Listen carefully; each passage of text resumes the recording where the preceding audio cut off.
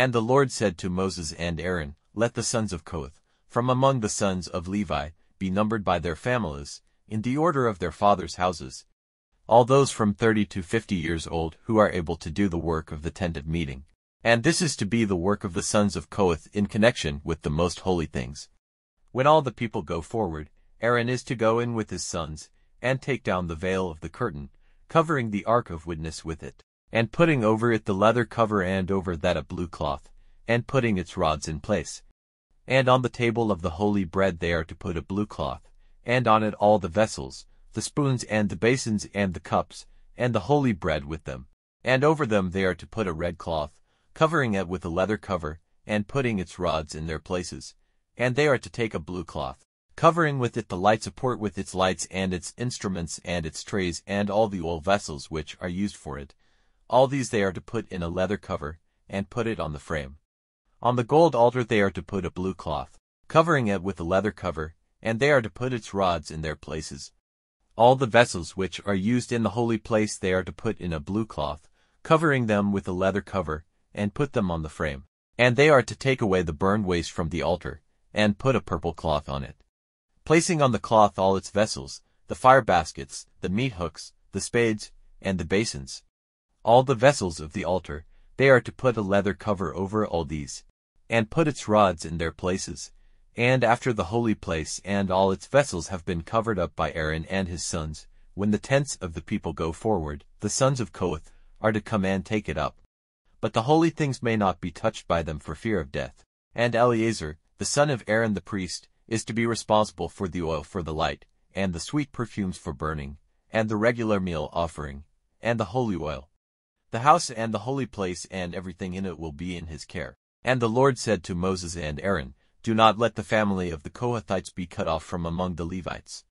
But do this to them, so that life and not death may be theirs when they come near the most holy things. Let Aaron and his sons go in and give to every one his work and that which he is to take up. But they themselves are not to go in to see the holy place, even for a minute, for fear of death. And the Lord said to Moses, Let the sons of Gershon be numbered by families, in the order of their fathers' houses, all those from thirty to fifty years old who are able to do the work of the tent of meeting. This is to be the work of the Gershonites, the things they are to do and take up. They are to take up the curtains of the house, and the tent of meeting with its cover and the leather cover over it, and the hangings for the door of the tent of meeting, and the hangings for the open space round the house and the altar, and the curtain for its doorway, with the cords and all the things used for them.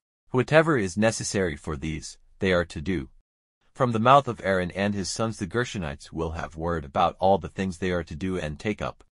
You are to give them their orders. This is the work of the family of the Gershonites in the tent of meeting, and they will be under the direction of Ithamar, the son of Aaron the priest.